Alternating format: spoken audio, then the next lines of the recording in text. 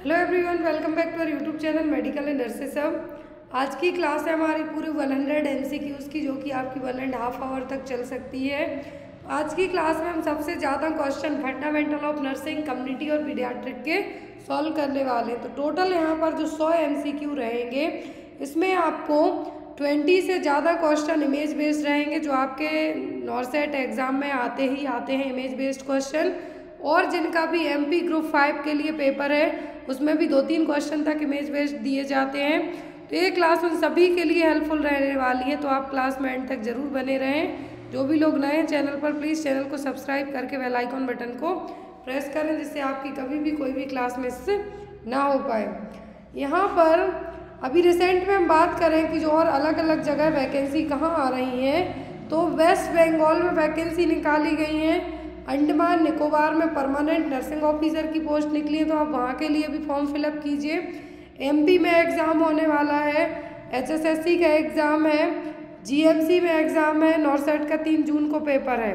तो यहाँ पर आपके सभी जगह के कोई ना कोई एग्ज़ाम्स चल ही रहे हैं नर्सिंग के तो आप अपनी तैयारी भी अच्छे से रखिए। स्पेशली जो भी लोग नॉर्सेट और एमपी ग्रुप फाइव का पेपर देते हैं तो सभी के लिए पीडीएफ अवेलेबल है तो आप मुझे डायरेक्ट व्हाट्सएप पे कांटेक्ट करके उन पीडीएफ को परचेस कर सकते हैं। प्राइस बिल्कुल मिनिमल रखा गया है कि आप हर एक कैंडिडेट उसको परचेस कर सकता है। फ़र्स्ट क्वेश्चन यहाँ पे आपको इमेज बेस्ड क्वेश्चन है। Identify the type of hearing aid device on in the image तो यहाँ पे एक इमेज दिख रही है आपको। ये हियरिंग एड डिवाइस है तो कौन सी हियरिंग एड डिवाइस है? In the ear hearing aid body worn hearing aid behind the ear hearing aid या फिर इंटीग्रेटेड हियरिंग एड कान में लगाने की मशीन जिसको आप कहते हैं, कान में लगाने की मशीन, ये उन लोगों को दी जाती है, इसको कम सुनाई देता है, या फिर ना के बराबर सुनाई देता है तो ये मशीन आपकी थोड़ी हेल्प करेंगे कि आपको आवाज़ है जो प्रॉपर जाए. तो यहाँ दिख रही है आपकी बॉडी बॉर्न हियरिंग एड कौन सी? बॉडी बॉर्न हियरिंग एड ये मेनली अभी उतनी यूज़ नहीं की जाती है। नेक्स्ट इमेज में देखिए, दिया गया है इन द हियरिंग एड यहाँ पर कुछ वायर टाइप्स रहेंगे जो आपके कान के अंदर तक जाएँगे और पीछे से आपके छोटा है जो आप जो ईयरफोन लगाते हैं, उस तरीके से लगा रहेगा। तो ये कहलाएगा इन द हियरिंग एड फिर आता है behind the ear hearing aid पे। ये पहले बहुत यूज़ की जाती थी। ये वाली डिवाइस पहले बहुत यूज़ होती थी इवन अभी भी इसको यूज़ किया जाता है, जिनको सुनने में प्रॉब्लम होती है। तो ये क्या है? बिहाइंड द ईयर इसका जो मोस्टली हिस्सा है, कुछ हिस्सा अंदर रहेगा, कुछ बाहर रहेगा। तो इसको हम कहेंगे बिहाइंड द हियरिंग एड फिर ये देखिए आई हियरिंग एड अब यहाँ पर चश्मा पहनेंगे आप, लेकिन चश्मे के यहाँ पे देखिए आपको दो पॉइंट दिख रहे हैं तो एक तो जनरली आपकी आँख के ऊपर रहेगा दूसरे सॉरी कान के ऊपर रहते हैं दोनों हिस्से लेकिन यहाँ पर एक छोटा माइक्रोफोन टाइप से दिख रहा है आपको। तो इससे साउंड आपके अंदर जाएगा। तो इसको क्या कहा गया है? आई हियरिंग एड तो एग्ज़ाम में ए, ए वाली इमेज आए तो बिहाइंड इस वाली को पूछे तो इन द ईयर और इस तरीके से आए तो body worn hearing aid next question है आपका। Which nerve is known as the musician nerve in nerve में से क्वेश्चन बहुत एग्ज़ाम में आते हैं कि कौन सी नर्व कार्पल टनल सिंड्रोम में डिस्टर्ब रहेगी या फिर प्रॉब्लम होगी? फिर यहाँ पे आता है म्यूजिशियन नर्व लेबरर नर्व कौन सी नर्व सबसे बड़ी है? तो ये सभी चीज़ें पूछी जाती हैं। तो क्वेश्चन है यहाँ पर which nerve is also known as musician nerve तो जो म्यूजिशियन नर्व है वो कहलाती है अल्नार नर्व कौन सी अल्नार नर्व अब इस नर्व को म्यूजिशियन नर्व क्यों कहा गया है? जस्ट बिकॉज़ ऑफ़ ये क्या करती है? जब भी आप कुछ भी जो म्यूज़िकल जो भी इंस्ट्रूमेंट वगैरह बजाएँगे तो ये क्या करेगी? कंट्रोल करने का काम करेगी। जो फिंगर्स का फाइन मोटर डेवलपमेंट है, उसको कंट्रोल करने का काम करेगी। लेकिन यदि इस नर्व में कुछ भी प्रॉब्लम होती है तो जो भी म्यूजिशियन होंगे, वो क्या करेंगे? प्रॉपर तरीके से जो भी इंस्ट्रूमेंट वगैरह बजाते हैं, वो नहीं बजा पाएँगे। तो इसीलिए इसको क्या कहा गया है? म्यूजिशियन नर्व किसको? अल्नार नर्व को। सियाटिक नर्व, यहाँ पर देखिए thickest nerve of the body सबसे थिक मतलब सबसे इंटरनली है जो नर्व है सियाटिक नर्व। जब आप हिप में इंट्रामस्कुलर इंजेक्शन लगाते हैं तो नर्व डैमेज होने का रिस्क रहता है, वो कौन सी होती है? वो होती है सियाटिक नर्व। फिर लेबरर्स नर्व लेबरर्स नर्व किसको कहा जाता है? मीडियन नर्व को। क्योंकि यहाँ पर फोर आर्म के यहाँ पर रहेगी और जो भी लोग ज़्यादा हैवी वगैरह काम करते हैं तो इसलिए इस नर्व को क्या कहा जाता है? मीडियन नर्व को लेबरर नर्व तो यहाँ पर आई होप आपको नर्व को लेके तीन चार क्वेश्चन क्लियर हो गए हों। कार्पल टनल सिंड्रोम मेनली किसको होता है लोग? लॉन्ग टाइम तक कंप्यूटर पर बैठ के काम करते हैं। अल्लान नर्व कहलाएगी म्यूजिशियन नर्व थिकेस्ट नर्व पूछे तो सियाटिक लेबरर नर्व पूछे तो मीडियन नर्व नेक्स्ट क्वेश्चन है आपका Kegel exercise is done to Kegel exercise क्यों की जाती है? Promote the fluid intake strengthening bladder muscle tone prevent from urine infection assist in toileting तो यहाँ पर जो कीगल एक्सरसाइज है की जाती है ब्लैडर मसल्स की स्ट्रेंथ को बढ़ाने के लिए। किसके लिए? ब्लैडर मसल्स को स्ट्रेंथ को बढ़ाने के लिए। क्यों? और ये प्रेगनेंसी में क्यों करने के लिए किया जाता है? ताकि जो आपकी पेल्विक फ्लोर मसल्स हैं, ये मज़बूत बने, मज़बूत बनेंगी, तभी जब आपकी लेबर पेन होंगे डिलीवरी के टाइम पे तो आपको क्या रहे, एक तरीके से सपोर्टिव रहे। तो यहाँ पर Kegel exercise pelvic floor muscles को मज़बूत बनाने के लिए की जाती हैं। तो स्ट्रेंथनिंग प्रोवाइड करेंगी ब्लैडर मसल टोन को ताकि यूरिन पास आउट ना हो सके इनकन्टीनेंस की सिचुएशन डेवलप ना हो सके। तो यहाँ पर आपका आंसर क्या होगा? Strengthening the bladder muscle next है medical geniculates body form a part of medical geniculate bodies किस पार्ट को बनाएँगी? Limbic system motor system, auditory system या फिर विजुअल पाथवे? ये क्वेश्चन आपको एमपी ग्रुप फाइव के एग्ज़ाम में आ चुका है। मेडिकल जेनिकुलेट बॉडीज क्या बनाएँगी? ऑडिटरी सिस्टम को देखिए यहाँ पे। जो मीडियल पूछते हैं, ध्यान दे ध्यान दीजिए। जेनिकुलेट बॉडी बस पूछते हैं तो ये अलग है, लेकिन मीडियल पूछे तो ऑडिटरी सिस्टम इसमें ऑडिटरी सिस्टम में। लेकिन ऑडिटरी मतलब सुनाई देने वाला पार्ट आपका जो कान का पार्ट है, वहाँ पे मेडियल लेटरल पूछे तो विजुअल पाथवे में। देखिए, जो मीडियल जेनिकुलेटरी सिस्टम है तो ऑडिटरी पाथवे का पार्ट बनाएगा। लेकिन लेटरल जेनिकुलेट बॉडी पूछे तो वो विजुअल पाथवे को बनाने का काम करेगा। तो यहाँ पर दोनों में आपको डिफरेंस याद रखना है। मीडियल फॉर ऑडिटरी और lateral geniculate for visual pathway next is all are the features indicative of physiological jaundice of newborn except बच्चे में फिजियोलॉजिकल ज्वाइंटिस के सभी कॉज हैं, किसी एक को छोड़कर। It fades by seventh day of life it peaks by third day of life It appears before attaining 24 hour of age. It appears after attaining 24 hour of age. तो बच्चों में जॉइंटिस दो तरीके का होता है। एक होता है फिजियोलॉजिकल जनरली तब होता है कि बच्चों की जो आरबीसी का डिस्ट्रक्शन फिर इतने फास्ट तरीके से होता है कि ब्लूरूबिन है जो। ब्लूरूबिन है जो क्या होगा? इकट्ठा होना स्टार्ट करेगा आपके ब्लड में। बाहर निकल नहीं पाएगा उतने जल्दी जल्दी। क्योंकि आपका जो लिवर है उतना प्रॉपर तरीके से स्ट्रॉन्ग नहीं है, पूरा बना हुआ नहीं है बच्चे और नहीं है। ऐसे केस में बच्चों में फिजियोलॉजिकल जॉइंटिस है जो कॉमनली देखने को मिलता है। दूसरा होता है पैथोलॉजिकल कंडीशन पैथोलॉजिकल कंडीशंस में जॉइंटिस यदि बच्चे में डिलीवरी होने से लेके within twenty four hour के ही बॉडी में दिख जाए within twenty four hour के ही चौबीस घंटों के अंदर ही दिख जाता है तो ये आपका आएगा पैथोलॉजिकल जॉइंटिस में। मतलब कुछ इंटरनल प्रॉब्लम्स हैं बच्चे में, आपके आरबीसी डिस्ट्रक्शन के कारण नहीं हो रहा है। ये आपका आरबीसी डिस्ट्रक्शन के कारण नहीं हो रहा है, जो कि अपने आप ठीक हो जाएगा। इसमें बच्चे को सडन ट्रीटमेंट की ज़रूरत भी पड़ने वाली है। तो जो फिजियोलॉजिकल जॉइंटिस होगा, सात दिन में, ये जनरली सात दिन में अपने आप सातवें दिन तक है जो अपने आप ठीक होने लगेगा। लेकिन फिजियोलॉजिकल जॉइंटिस की खासियत ये होती है कि जब बच्चा 24 घंटे का हो जाएगा, उसके बाद ही दिखाई देगा। जब बच्चा 24 घंटे का हो जाएगा, उसके बाद ही दिखाई देगा। और ये generally fourth to fifth day में अपने आप ठीक हो जाएगा टर्म में प्रीटर्म बच्चा है तो सेवन्थ डे में। और यहाँ पर बच्चे को इवन उतना ट्रीटमेंट की ज़रूरत भी नहीं पड़ती कि फोटोथेरेपी से इसको ट्रीट किया जाए। जब ज़्यादा हो जाता है तब बच्चे को फोटोथेरेपी की ज़रूरत पड़ेगी। लेकिन यदि जो पैथोलॉजिकल ज्वाइंटिस है, पैदा होते ही 24 घंटे के अंदर दिख जाएगा इसमें ब्लूरूबिन लेवल पाँच एम पर डीएल से भी ज़्यादा जाएगा। सीरम ब्लूरूबिन का लेवल भी वन पंद्रह एमजी पर डीएल से ज़्यादा आएगा। बच्चे में जॉइंटिस है जो जॉइंटिस है जो एटलीस्ट चौदह दिन तक, चौदह दिन तक भी है जो ठीक नहीं हो पाएगा। ऐसे में बच्चे को तुरंत केयर की ज़रूरत पड़ने वाली है। तो यहाँ पर यदि कहा गया है कि फिजियोलॉजिकल जॉइंटिस के सभी फीचर हैं, किसी एक को छोड़कर तो वो होगा कि यह 24 घंटे के अंदर नहीं होता है। 24 घंटे के अंदर होने वाला कहलाएगा पैथोलॉजिकल जॉइंटिस। और जो जॉइंटिस है, जॉइंटिस में यदि कर्निक टेरस पूछते हैं आपसे, कर्निक टेरस पूछते हैं तो मतलब जो ब्लूरूबिन लेवल है जो ब्रेन तक पहुँच गया है ब्लूरूबिन का लेवल ब्लड में भी सॉरी ब्रेन में तक पहुँच गया है तो कर्निक टेरस कहलाएगा।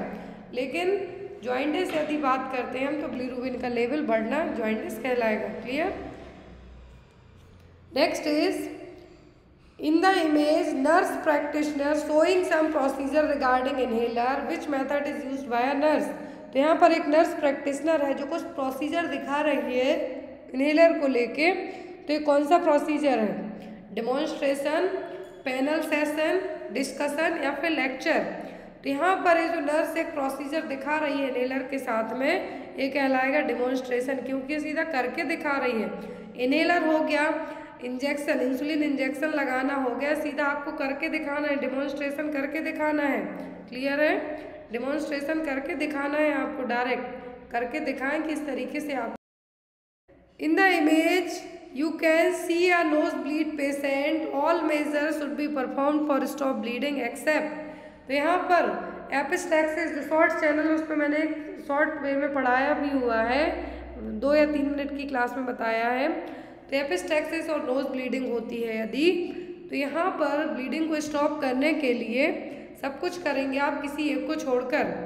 Allowing patient to sneeze applying pressure by pinching the nose applying ice cover over the nose keeping the patient in sitting position with the next flexed तो यहाँ पर बच्चे को जब भी नोज़ ब्लीड या बड़े को होती है तो नेक फ्लेक्स करना है सिटिंग पोजीशन में बिठाना है नोज़ को पिंच करके रखना है।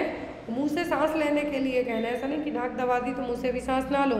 मुँह से सांस लेने के लिए कहना है। और यहाँ पर आप चाहें तो आइस है जो कवर कर सकते हैं। ब्लीडिंग स्टॉप नहीं होती है तो कॉटन भी यूज़ कर सकते हैं आप। लेकिन स्नीजिंग करने के लिए नहीं करना है। ऐसे में जो बहुत ही टिनी जो वेसल्स है वो भी फटने का डर रहेगा और ब्लीडिंग और ज़्यादा होगी। तो आपको स्नीज करने के लिए नहीं कहना है। अब जो नोज़ ब्लीडिंग होती है, दो तरीके होती है, एक होती है एंटीरियर दूसरी होती है पोस्टीरियर तो एंटीरियर नोज़ ब्लीड है जो जो जनरली यहाँ पर इसके प्लेक्सस पूछे जाते हैं, वो है क्लैसीबैच प्लेक्सस क्या है? कैसलबैच प्लेक्सस और जो पोस्टीरियर है, ये जनरली बोड्रा प्लेक्सस के यहाँ से होगी और पोस्टीरियर जो नोज़ ब्लीडिंग होती है, वो बैक साइड से होती है जब. तो यहाँ पर स्पेशल ट्रीटमेंट की ज़रूरत पड़ेगी क्योंकि ये कॉमन नहीं है. एंटीरियर नोज़ ब्लीडिंग है जनरली आपके नोस्ट्रल्स के यहाँ से होगी और जनरली हो जाती है। कभी कभी फॉरन मटेरियल कुछ भी चला गया है या फिर आपके नेल्स बड़े हैं, आपने नाक में बार बार फिंगर की तो हो सकती है। लेकिन जो पोस्टीरियर नोज़ ब्लीडिंग होगी पोस्टीरियर एपिस्टैक्सिस होगा बुट्रोप्लेक्सस इसका कॉमन ओरिजिन होगा। क्या है? बुट्रोप्लेक्सस एग्ज़ाम में आते हैं। पोस्टीरियर एपिस्टैक्सिस के लिए प्लेक्सस तो वो बुड्रप और एंटीरियर के लिए पूछे तो वो है क्लेसवेज प्लेक्सस तो यहाँ पर जो पोस्टीरियर नोज़ ब्लीड होती है, इसमें आपको पर्सन को हॉस्पिटलाइज करके है, जो इवन ट्रीटमेंट करने की ज़रूरत पड़ती है। कॉमन तो जनरली 80 परसेंट केस में एंटीरियर एपिस्टैक्सिस ही देखने को मिलेगा। Next is identify this tube sore is below तो यहाँ पे एक ट्यूब दिख रही है। क्या है? फ्रैका tube I B set trials tube या फिर सेंगस्टन ट्यूब तो ये कहलाएगी यहाँ पर सेंगस्टन ट्यूब जनरली ये ये कौन सी ट्यूब है? सेंगस्टन ट्यूब इस तरीके से यूज़ की जाएगी। जब जो ब्लीडिंग होती है ईसोफेगस या फिर स्टमक में ब्लीडिंग होती है तो उस ब्लीडिंग को स्टॉप करने के लिए, रोकने के लिए या फिर स्लो ब्लीडिंग करने के लिए Sengstaken Blakemore S B tube है जो यूज़ की जाएगी। जनरली ये जो ब्लीडिंग होती है, जब स्टमक या फिर ईसोफेगस में ब्लीडिंग होती है तो गैस्ट्रिक अल्सर या फिर ईसोफेगल वेरिसेस के कारण हो सकती है। ब्लड फ्लो का ऑब्स्ट्रक्शन होगा ब्लीडिंग होने के चांसेस रहेंगे। इस केस में इस ब्लीडिंग को स्टॉप करने के लिए सेंगस्टन ट्यूब है जो यूज़ की जाती है। इसमें जो तीन पोर्ट होते हैं, एक होता है ईसोफेगल पोर्ट दूसरा होता है गैस्ट्रिक बलून पोर्ट तीसरा होता है गैस्ट्रिक एस्पिरेशन पोर्ट तो यहाँ पर जो बलून पोर्ट है इन्फ्लेट है, ये है जो डिफ्लेट है इसको। ईसोफेगस और स्टमक में भेज के क्या किया जाता है? इन्फ्लेट किया जाएगा। एक है गैस्ट्रिक बलून दूसरा है oesophageal balloon next is how should a nurse administer an iron injection to an adult तो एक एडल्ट में आयरन इंजेक्शन कैसे एडमिनिस्टर किया जाएगा? Intradermal in the forearm subcutaneous in the arm Z track intramuscular in the gluteal या फिर I M in deltoid muscle तो जो आयरन इंजेक्शन है, किसी एडल्ट पर्सन में एडमिनिस्टर किया जाएगा जेट ट्रैक इंट्रामस्कुलर इंजेक्शन से। किससे जेड ट्रैक इंट्रामस्कुलर इंजेक्शन वो भी ग्लूटियल रीजन में एडल्ट की बात की जा रही है। जेड ट्रैक मेथड क्यों अपनाई जाएगी? क्योंकि जो आयरन मेडिकेशन है, ये टिश्यू को इरिटेट ना कर पाए, फैल ना पाए, लॉक कर दे मेडिकेशन को। इसीलिए जेड ट्रैक मेथड है जो अपनाई जाएगी। वो कहाँ पे लगाएँगे हम इंजेक्शन? ग्लूटियल मसल्स में। क्वेश्चन है यहाँ पे best method of installation ear drop in infant is to pull ear तो बेस्ट मेथड कौन सी है ईयर ड्रॉप इंस्टॉल करने के लिए बच्चों में? ऑप्शन है यहाँ पे downward and backward downward upward upward backward या फिर बैकवर्ड अपवर्ड तो यहाँ पर बेस्ट मेथड है ईयर ड्रॉप इंस्टॉल करने की बच्चों में सॉरी इन्फेंट में. तो डाउनवर्ड एंड बैकवर्ड क्या है?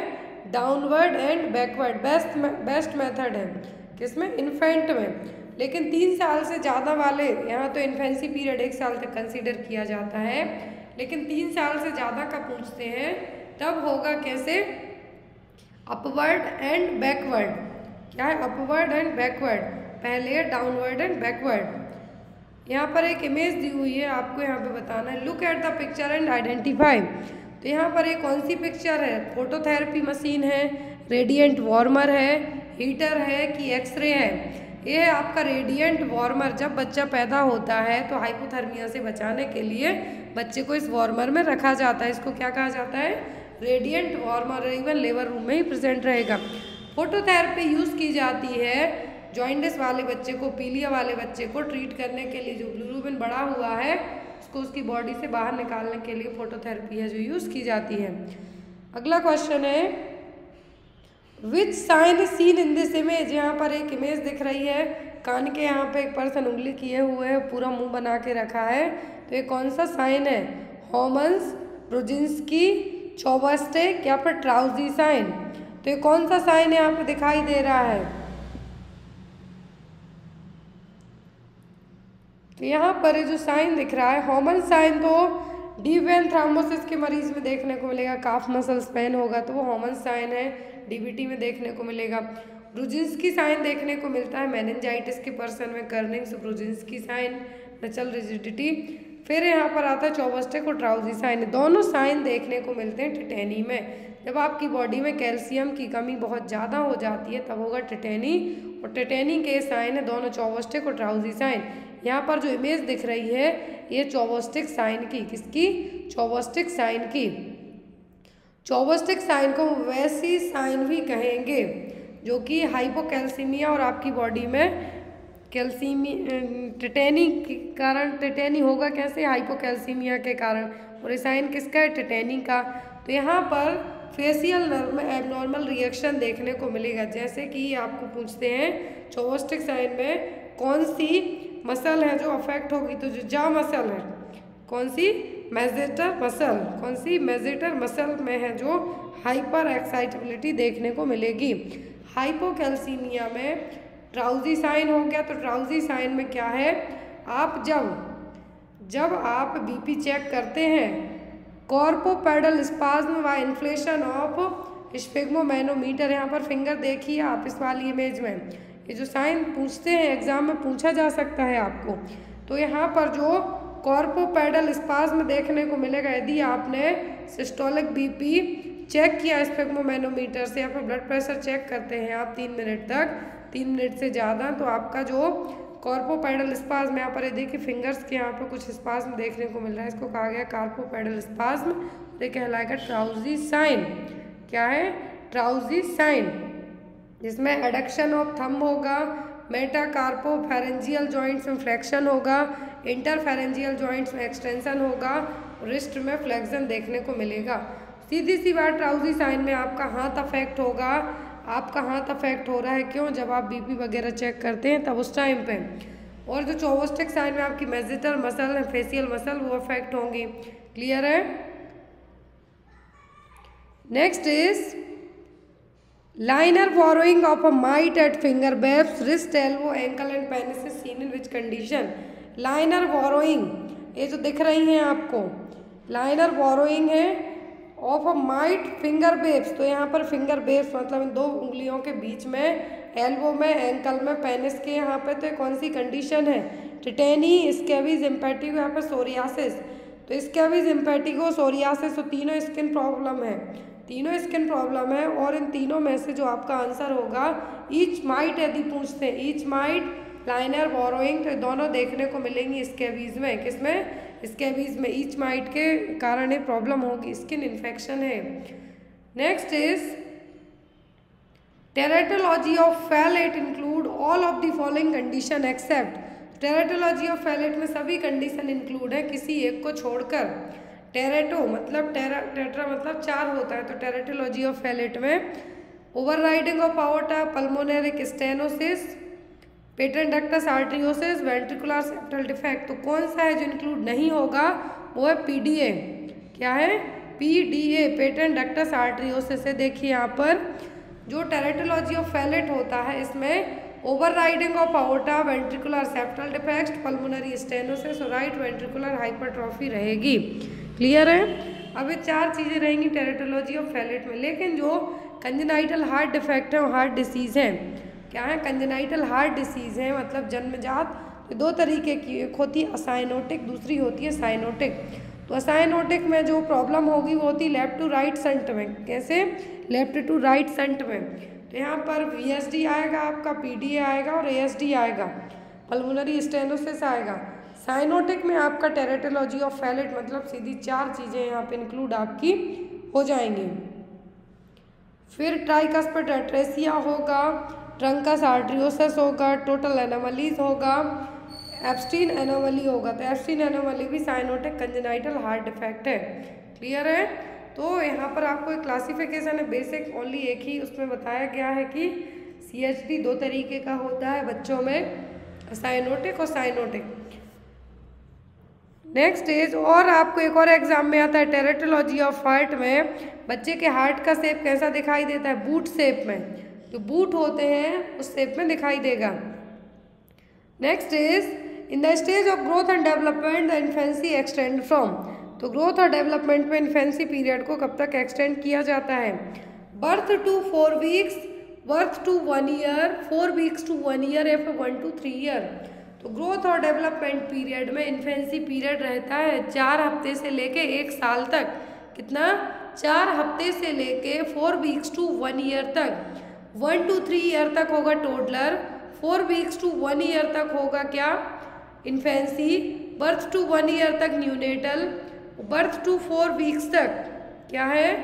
बर्थ से लेके फोर वीक तक कहलाएगा यहाँ पर न्यूनेटल पीरियड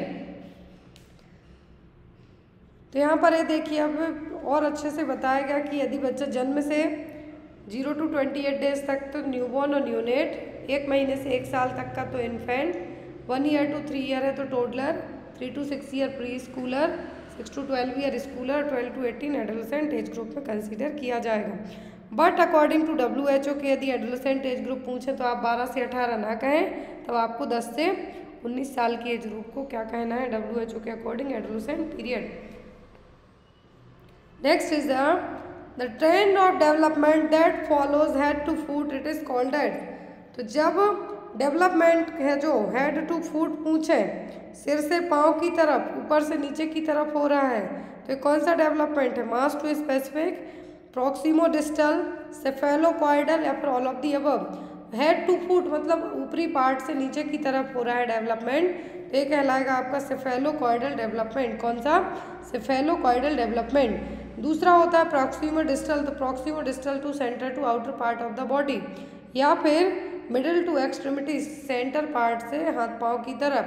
जब सिर से पैर की तरफ़ होता है हेड टू फुट होगा, तब आप कहेंगे इसको सेफेलो सेफेलिक का मतलब ही होता है हेड प्रॉक्सीमो डिस्टल मतलब centre part of the body से बाहर की तरफ़। Next is what is the normal pulse normal range of pulse rate of a child of one to two year एक से दो साल तक की एज में जो पल्स रेट है, बच्चे की कितनी होगी? Sixty to one hundred per minute, seventy six to one twenty per minute, one twenty to one sixty per minute, eighty to one thirty per minute. तो नॉर्मल रेंज होगी जो पल्स रेट की, वो होगी अस्सी से एक सौ तीस पर मिनट। बेस्ड अपॉन बच्चे की एज पर भी डिपेंड करता है। यदि न्यूबॉर्न बेबी है, जो कि ज़ीरो टू थ्री मंथ है तो पल्स रेट होगी सौ से एक सौ पचास। जैसे जैसे एज बढ़ती जाती है पल्स रेट वैसे वैसे घटती जाएगी। इन्फेंसी में नब्बे से एक सौ बीस जब बच्चा तीन सॉरी इन्फेंट भी तीन से छः महीने का और इन्फेंट जब छः से बारह महीने का होगा तो one hundred to one sixty children एक से दस साल का है तो सेवेंटी टू वन थर्टी जब बच्चा दस साल और उससे ज़्यादा का हो जाए तो एज़ कंपेयर टू एडल्ट के ही पल्स रेट हो जाएगा, दस साल से ज़्यादा में। तो यहाँ पर आप चाहें तो इसका स्क्रीनशॉट ले सकते हैं या फिर इसको नोट डाउन कर सकते हैं पल्स रेट को। Next one is the the most significant sign of respiratory distress in preterm baby is preterm baby में रेस्पिरेटरी डिस्ट्रेस के क्या साइन हैं? Barrel chest nasal flaring bradycardia grunting and chest indrawing तो grunting and chest indrawing तो देखने को मिलता है निमोनिया में। किसमें? निमोनिया में। बैरल चेस्ट देखने को मिलेगा एम्फायसीमा में, जो सीओपीडी वाले पर्सन होंगे एम्फायसीमा होगा उनमें। फिर बचता है ब्रेडिकार्डिया इसमें पल्स रेट साठ से कम चल गया, लेकिन प्रीटम बेबी में एक सौ तीस से कम जाएगी, तब कंसिडर किया जाएगा। फिर यहाँ पर जो प्रीटम बेबी में रेस्पिरेटरी डिस्ट्रेस का जो मोस्ट कॉमन साइन है, वो नेजल फ्लैरिंग क्या है?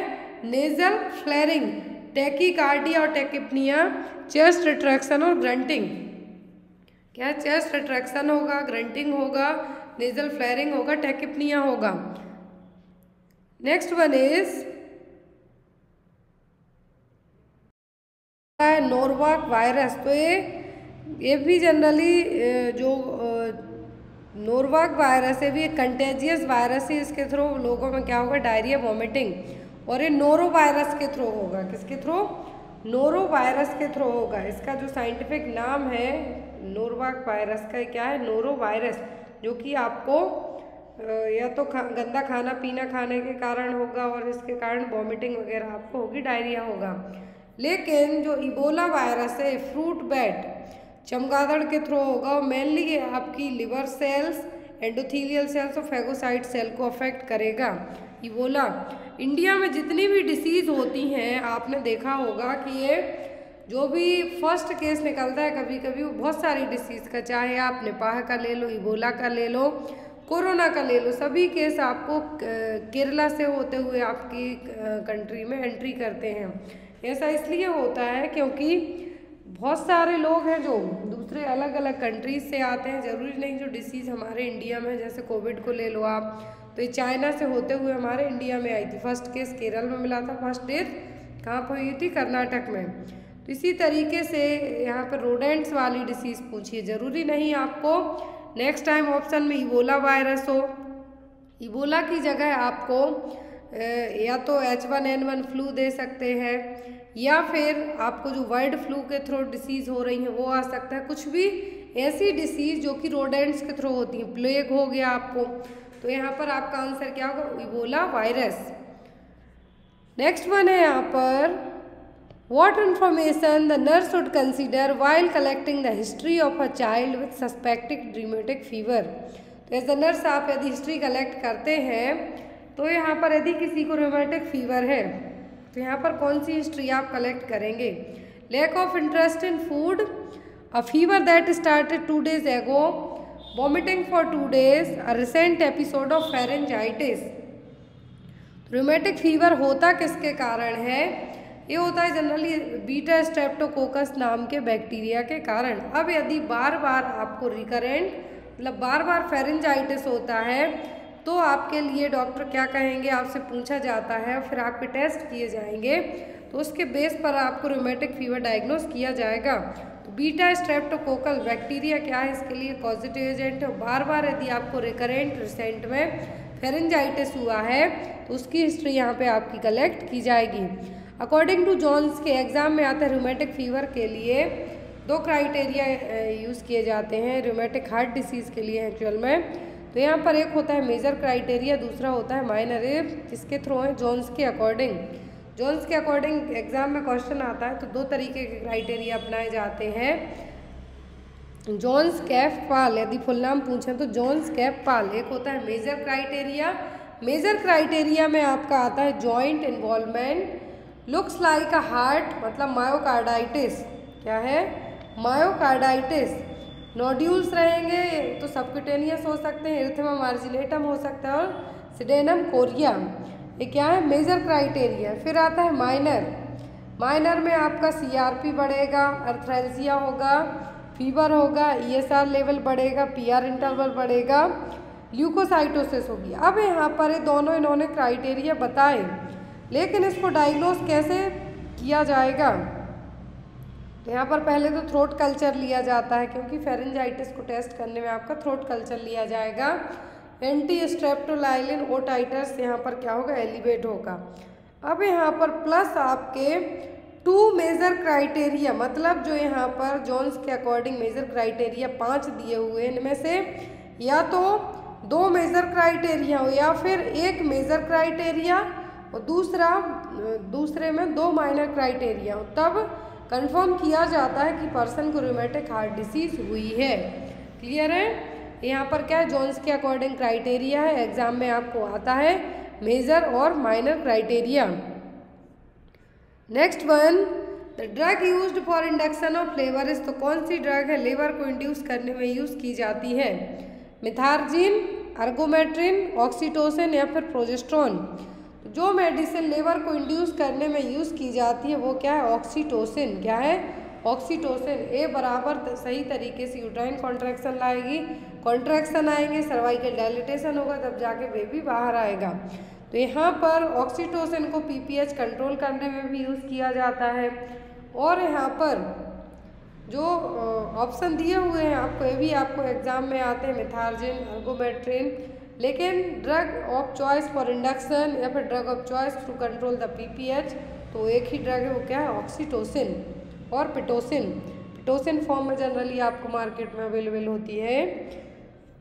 Next one is a process of providing और obtaining the food necessary for growth and health is तो ऐसी प्रोसेस जिसमें फ़ूड आपको प्रोवाइड करवाया जाएगा, जिससे आपकी ग्रोथ और हेल्थ है जो सही रहे। ज़रूरी है और आपको नरिशमेंट नॉरिशमेंट नेचुरल साइंस या फिर न्यूट्रिशन तो ऐसी प्रोसेस जिसमें आपकी ग्रोथ और हेल्थ के लिए खाना ज़रूरी है, वो कौन सी प्रोसेस है? वो है आपका न्यूट्रिशन क्या है? Nutrition next one is how many chambers are there in the heart of fish यहाँ पर मछली के हृदय में कितने चैम्बर होते हैं? राजस्थान के एग्ज़ाम में भी आया था आपको, जिनको याद हो। मछली के हृदय में कितने चैम्बर होते हैं? ह्यूमन हार्ट में तो चार होते हैं। अब फ़िश में कितने होंगे? दो, पाँच, तीन, चार। तो फ़िश में दो चैम्बर होते हैं ओनली एट्रियम और वेंट्रिकल ये देखिए एट्रियम और वेंट्रिकल होते हैं। बाकी का काम इनमें गिल्स और जो सिस्टमेटिक कैपिलरीज हैं, वो कर देते हैं। यदि फ़िश के हार्ट में पूछे दो चैम्बर होते हैं वेंट्रिकल जो कि blood out of the heart जो हार्ट से ब्लड को बाहर निकालेगा और एट्रियम रिसीव करेगा। नेक्स्ट वन है यहाँ पर ex expected date of delivery is calculated by using तो ईडीडी e कैसे कैलकुलेट की जाती है? जॉन्स फार्मूला से नेगल्स फार्मूला से वुड्स फार्मूला से कि रॉबर्ट फार्मूला से? तो आपने ये चारों फार्मूला पढ़े हैं नर्सिंग में। मेनली आपने जॉनसन फार्मूला पढ़ा है और नेगल्स पढ़ा है।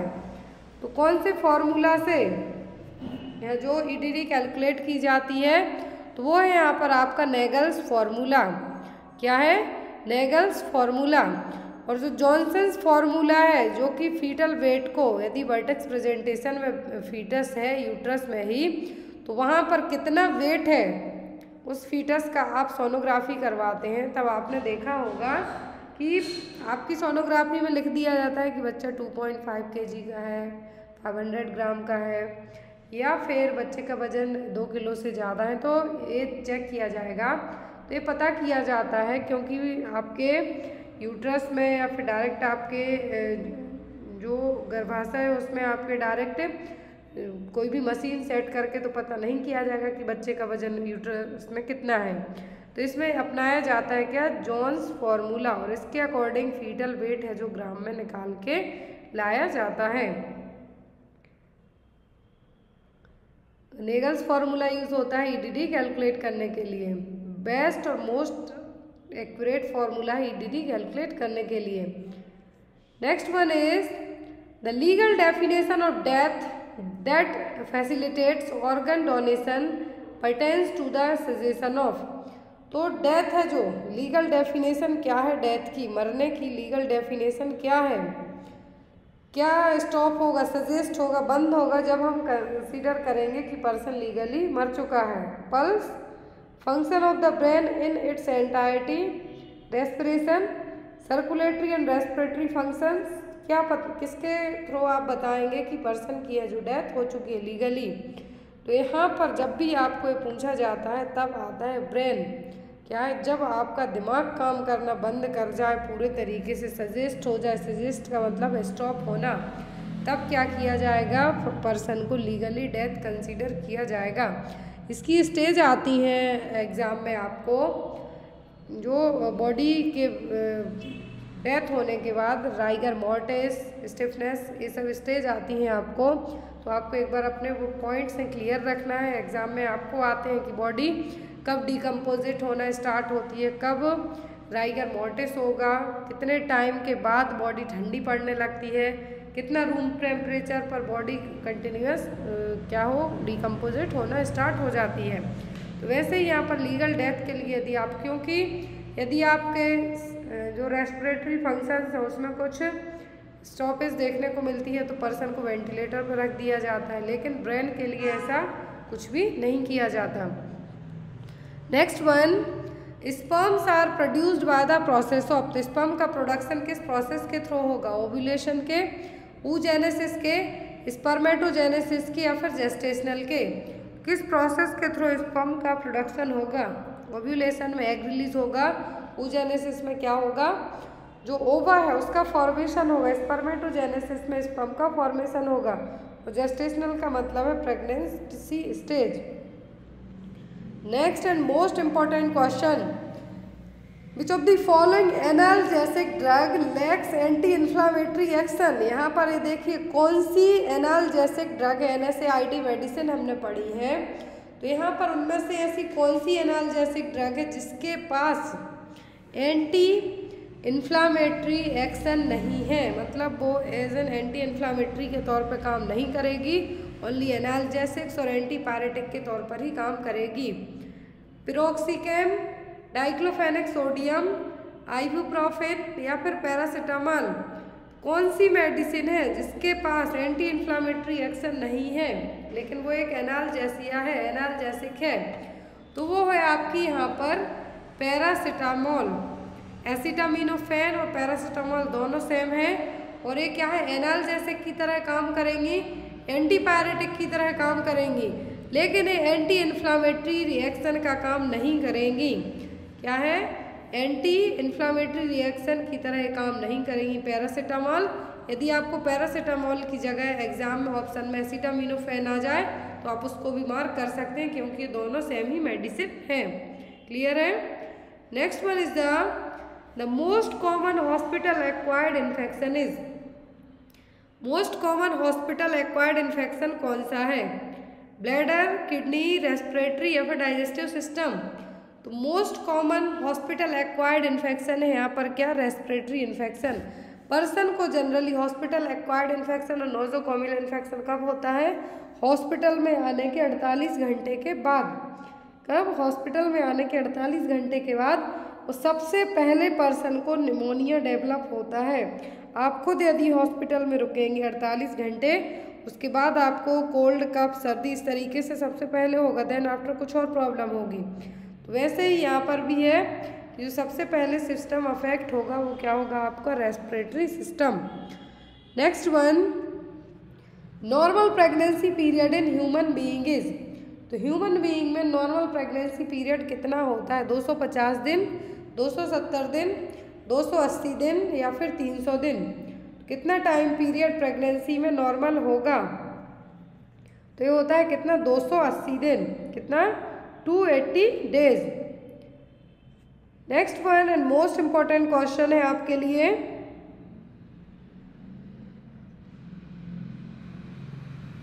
Sign of placental separation are the following except. तो सभी साइन है प्लेसेंटल एक्सपल्सन के, सॉरी, प्लेसेंटल सेपरेट होने के, डिटैच होने के, किसी एक को छोड़कर। Rise of temperature, lengthening of umbilical corded बुलबा shivering या फिर गस ऑफ़ ब्लड। तो सब कुछ देखने को मिलेगा, लेकिन ब्लड जो बॉडी का टेम्परेचर है, नहीं बढ़ेगा। थ्री क्लासिकल साइन होते हैं placental separation a new initiative for child health screening and early intervention for birth defects disease deficiency and developmental delay. अब देखिए यहाँ पर आप क्वेश्चन यदि ध्यान से देखते हैं, ये अभी क्वेश्चन एग्ज़ाम में आया हुआ था। I think Maharashtra C H O में क्वेश्चन आया है। वहाँ पर डायरेक्ट नहीं पूछा था, उसमें भी इसी तरीके से पूछा गया था कि एक इनिशिएटिव लिया गया है। जिसमें बच्चों की स्क्रीनिंग और अर्ली इंटरवेंशन किया जाएगा। बर्थ से लेके किस एज तक पूछा गया था?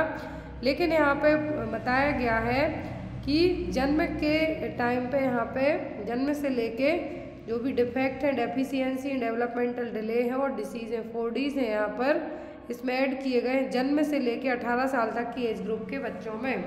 बर्थ टू 18 ईयर्स तक में तो ये कौन सा प्रोग्राम है? N K R P S K J S S K या फिर जे एस वाई तो यहाँ पर एक है एन एस एस के क्या है? N S S K Navjat Shishu सुरक्षा कार्यक्रम।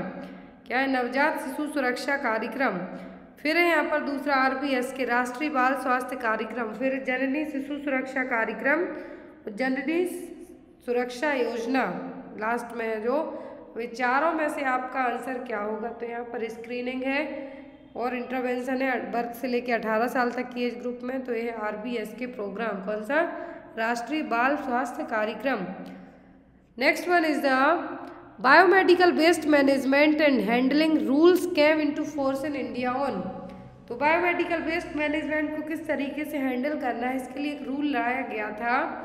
इंडिया में तो एक कब आया था? अट्ठाईस जुलाई उन्नीस में। 28 जून उन्नीस सौ अंठानवे, अट्ठाईस जुलाई उन्नीस सौ निन्यानवे, फिर 28 जून उन्नीस सौ निन्यानवे में तो BMW मैनेजमेंट और हैंडलिंग के तहत एक रूल लाया गया था। उसके अकॉर्डिंग ये कब इनेक्ट हुआ था। तो हुआ था इंडिया में 28 जुलाई उन्नीस सौ अंठानवे से 28 जुलाई 1998 से इसको स्टार्ट किया गया था। एमटीपी एक्ट आएगा आपको बायोमेडिकल वेस्ट मैनेजमेंट एक्ट आएगा। तो नेशनल हेल्थ पॉलिसीज़ आ सकती हैं आपको। या फिर पास्को एक्ट आ सकता है जुविनाइल एक्ट आ सकता है, ये हमने नर्सिंग में आपके आई थिंक जो जुविनाइल पास्को ये सभी एक्ट कब पढ़े हैं थर्ड ईयर और सेकेंड ईयर में आपने पूरे एक्ट वगैरह पढ़े हैं, लेकिन आपको एक बार रिवाइज कर लेना है। Next one is sudden attack of shivering accompanied by rapid rise of body temperature is known as sudden attack of shivering अचानक से आपको ठंडी लगती है, जिसमें आपकी बॉडी का टेम्परेचर बहुत हाई जाता है तो ये क्या है? क्राइसिस है राइगर है, लाइसिस है कि हीट एग्जॉशन है। तो सडन अटैक ऑफ़ सिवरिंग जो आपको कपकपी लगती है, वो अचानक से आपको कंटिन्यू पाँच से दस मिनट तक कंटिन्यू रहती है और आपका बॉडी टेम्परेचर एक पीक लेवल पे पहुँच जाता है। वो कहलाता है राइगर। ये चीज़ मैंने अपने बेटे में होते हुए कई बार देखी है। जो कि एज एन फिट्स से भी, यदि फिट्स आते हैं तो वो दो तीन मिनट में ठीक हो जाते हैं।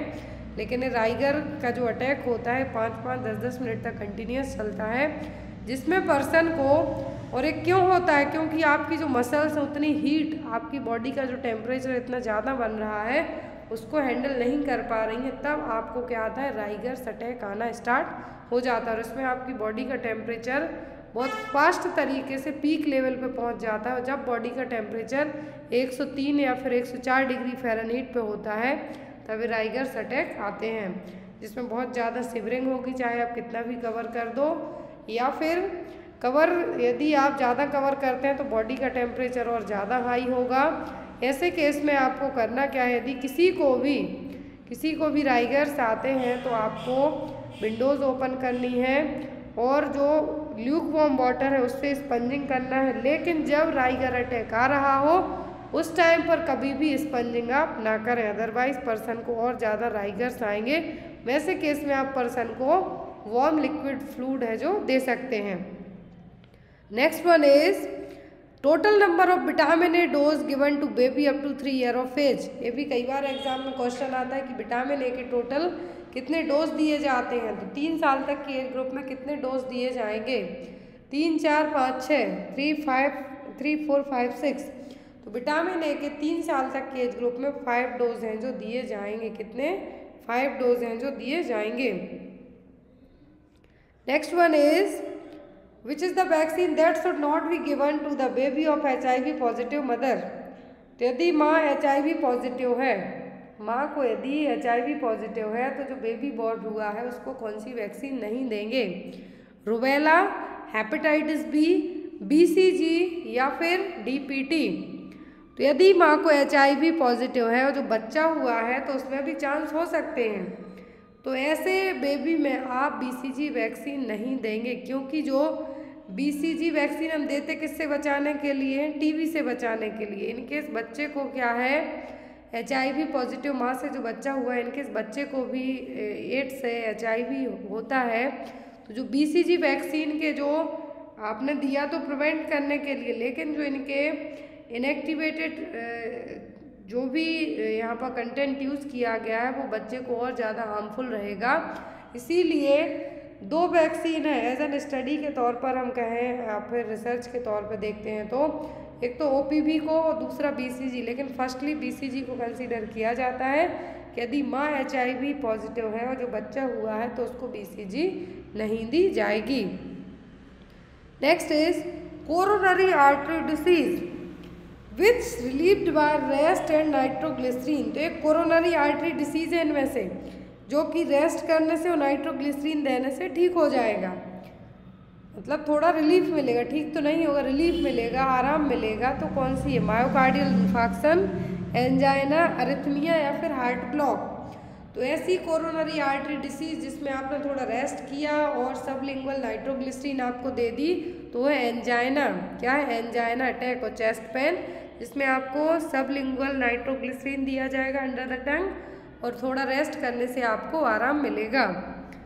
Next one is who is the father of psycho analysis तो साइको एनालिसिस के फादर कौन है Ivan Pavlov William Wundt Sigmund Freud या फिर विलियम्स जेम्स तो यहाँ पर जो साइको एनालिसिस के फादर हैं, वो है सिगमंड फ्रूड कौन है? Sigmund Freud next one cerebrospinal fluid is secreted by हमने हाइड्रोसेफेलस में बहुत अच्छे से पॉइंट पढ़ा है सीएसएफ का. तो सीएसएफ फ्लूड कहाँ से सीक्रेट होता है? स्पाइनल कॉर्ड से सेरिवेलम कोरोइड प्लेक्सस या फिर सेरिब्रम। तो सेरिब्रो स्पाइनल फ्लूड सीक्रेट होता है कहाँ से? कोरोइड प्लेक्सस से। कहाँ से? कोरोइड प्लेक्सस से सीक्रेट होता है। जब यदि यही ज़्यादा हो जाए, तब पर्सन को क्या डेवलप होता है? स्पाइनल फ्लूड का लेवल ज़्यादा हो जाए दैट मीन्स कोरोइड प्लेक्सस ने बहुत ज़्यादा सीक्रेशन किया और ऑक्यूमुलेशन हो गया आपकी बॉडी में प्रॉपर फ्लो नहीं हो पाया, तब होता है हाइड्रोसेफेलस जो बड़े सिर वाला आपने बच्चा देखा है, वही। Next one is myopia is corrected by using तो मायोपिया में किसके थ्रू ट्रीट किया जाएगा? सिलेंड्रिकल लेंस से वायोफोकल लेंस कॉन्वेक्स लेंस या फिर कॉनकेव लेंस से। तो मायोपिया करेक्ट किया जाता है किससे? कॉनकेव लेंस से। किससे? मायोपिया के लिए कॉनकेव लेंस से जो यूज़ किया जाता है कॉन्वेक्स जो फार साइटेडनेस है उसके लिए यूज़ किया जाएगा हाइपर मेट्रोपिया के लिए। Next and most important question a term baby which have hypoglycemia blood glucose level will be यदि बच्चा हाइपोग्लाइसेमिक है टर्म बेबी है। 37 वीक के बाद पैदा हुआ है।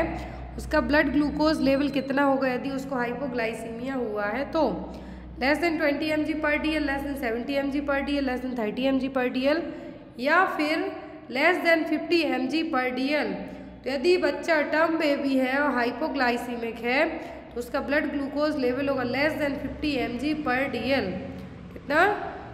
Less than 50 M G per D L generally होता तो है 40 M G per D L से भी कम, लेकिन लेकिन यदि यहाँ पर फ़र्स्ट डे ऑफ़ लाइफ की बात करें तो 40 से 60 एम जी पर डीएल होगा, लेकिन दूसरे दिन 50 से 90 एम जी पर डीएल यदि यहाँ पर डायरेक्ट टर्म बेबी के लिए पूछें तो 50 एम जी पर डीएल से भी कम होगा। यदि बच्चा कैसा होगा हाइपोग्लाइसेमिक होगा तो। ये देखिए यहाँ पर, आप चाहें तो इसका एक है जो नोट डाउन कर सकते हैं कि full time full term infant है, जिसका जो बहत्तर घंटे से भी ज़्यादा होंगे उसके बॉर्न हुए तो उसका यदि हाइपोग्लाइसेमिक कैटेगरी पूछें less than sixty MG per DL होगा। लेकिन फुल टर्म न्यूनेट जिसको बहत्तर घंटे ज़ीरो से बहत्तर घंटे हुए हैं तो चालीस एम पर डीएल से कम, और जिसको ज़ीरो टू बहत्तर घंटे हुए हैं, लेकिन बच्चा प्री टर्म है। बच्चा प्री टर्म न्यूनेट है, तब less than fifty M per D यहाँ पर कहा है कि टर्म में भी है। बेबी टर्म मतलब 37 वीक के बाद हुआ है, लेकिन हाइपोग्लाइसेमिक है तो उसका ग्लूकोज लेवल कितना होगा? 50 M G per D L से भी कम। नेक्स्ट है यहाँ पर। When performing the physical examination what is the correct sequence और स्टेप ऑफ़ एब्डोमिनल असेसमेंट तो एब्डोमिनल असेसमेंट के लिए जो करेक्ट सिक्वेंस है, वो क्या होगा? तो जो करेक्ट सीक्वेंस होता है, वो होता है आपका inspection auscultation percussion and palpation यहाँ पर मैंने आपको ऑप्शन इसलिए नहीं बताया ताकि आप कंफ्यूज ना हो। परकसन सॉरी पाल्पेशन और परकसन इंस्पेक्शन और ऑस्कल्टेशन के बात किए जाते हैं। तो यहाँ पर इंस्पेक्शन पहले होगा, फिर ऑस्कल्टेशन होगा परकसन होगा और पाल्पेशन होगा।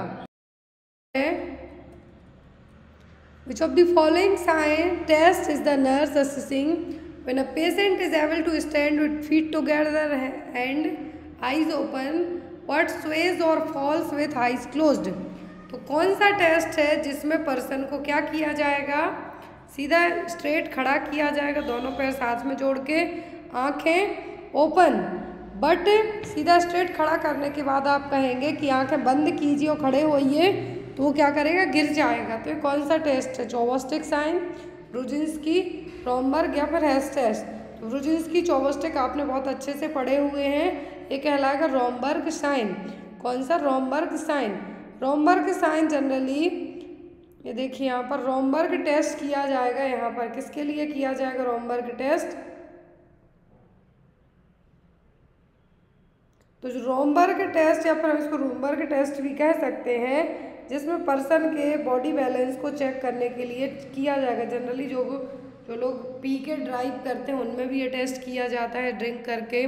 तो यहाँ पर आपके जूते उतरवाए जाएँगे, आपको सीधा दोनों हाथ नीचे, आँखें आइज़ आपकी क्लोज करवाई जाएँगी। फिर यहाँ पे आपको सीधा खड़े होने के लिए कहा जाएगा। डॉक्टर आपको थोड़ा सा भी बिल्कुल लाइटली पुश करेगा कि आप अपना बैलेंस बना पाते हैं नहीं। यदि आप उस टाइम पे गिर जाते हैं मतलब आपने पी रखी है। और आपके बॉडी बैलेंस को चेक करने के लिए टेस्ट किया जाएगा रोमबर्ग टेस्ट फिर यहाँ पर जो एक और है हेस टेस्ट क्या है? हेस टेस्ट तो जो हेस टेस्ट है, ये किया जाता है, जिसको हम क्या कहेंगे? रम्पल लीड टेस्ट जो कि यूज़ किया जाएगा कैपिलरी फ्रेजिलिटी को चेक करने के लिए। किसके लिए? कैपिलरी फ्रेजिबिलिटी को चेक करने के लिए। इसको हम टॉर्निक्यू टेस्ट भी कह सकते हैं। ये जो हैस टेस्ट है, इसको हम टॉर्निक्यू टेस्ट भी कह सकते हैं। और ये चेक किया जाएगा आपके ब्लड प्रेशर के लिए कि आपकी जो फोराम में जो आप कफ लगाते हैं बीपी चेक करने के लिए, उस टाइम पे तो क्या है हैस टेस्ट। इसको हम टॉर्निक्यू टेस्ट भी कह सकते हैं।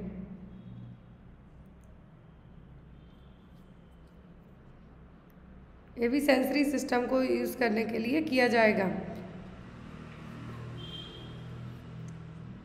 नेक्स्ट क्वेश्चन है यहाँ पे आई होप आपको रोमबर्ग टेस्ट या फिर हम इसको बॉडी बैलेंस टेस्ट कहेंगे जनरली आपके बॉडी का बैलेंस आप बना पाते हैं नहीं, उसको चेक करने के लिए टेस्ट किया जाएगा। Next one is a three year old boys is admitted to the emergency department after fall that fractured his arm what would be the type of assessment that the nurse will quickly conduct तो यहाँ पर तीन साल का बच्चा है emergency department में लाया गया है, गिरा है तो उसके आम में फ्रैक्चर है। तो यहाँ पर आप कौन सा असेसमेंट करेंगे? Comprehensive problem focused on going या फिर आइडेंटिफिकेशन ऑफ़ क्लाइंट्स स्ट्रेंथ बच्चा तीन साल का है। यहाँ पे आप उसकी स्ट्रेंथ का अंदाज़ा नहीं लगाएँगे, ना ही कॉम्प्रीहेंसिव असेसमेंट करेंगे। यहाँ पर आप सबसे पहले क्या प्रॉब्लम उस चीज़ पे फोकस करेंगे? तो आपका असेसमेंट भी कौन सा होगा? प्रॉब्लम फोकस्ड असेसमेंट कौन सा? प्रॉब्लम फोकस्ड असेसमेंट एक क्वेश्चन आपके लिए है, आप इसका आंसर कमेंट बॉक्स में देंगे। क्वेश्चन है when assessing body temperature on hospitalize patient the rectal route would be preferred by the nurse in which of the following patient तो यहाँ पर बॉडी टेम्परेचर को चेक करने के लिए हॉस्पिटलाइज किया गया है एक पेशेंट अब उस पेशेंट को आप रेक्टल टेम्परेचर किस पेशेंट को रेक्टल टेम्परेचर चेक करेंगे? Twelve year old adolescent with fever में fifty five year old lady with cardiovascular disease an unconscious six month old infant या फिर thirty year old man with haemorrhoids तो यहाँ पर किस मरीज़ में आप रेक्टल रूट से टेम्परेचर चेक करेंगे? यहाँ पर इसका आंसर आप लोग कमेंट बॉक्स में देना। नेक्स्ट क्लास होगी, इसमें इसका आंसर आपको दिया जाएगा। सो आई होप आपको आज की क्लास अच्छी लगी और जो भी डाउट है तो आप मुझे कमेंट करके या फिर व्हाट्सएप पर मैसेज करके पूछ सकते हैं। Thank you for watching us bye bye take care have a good day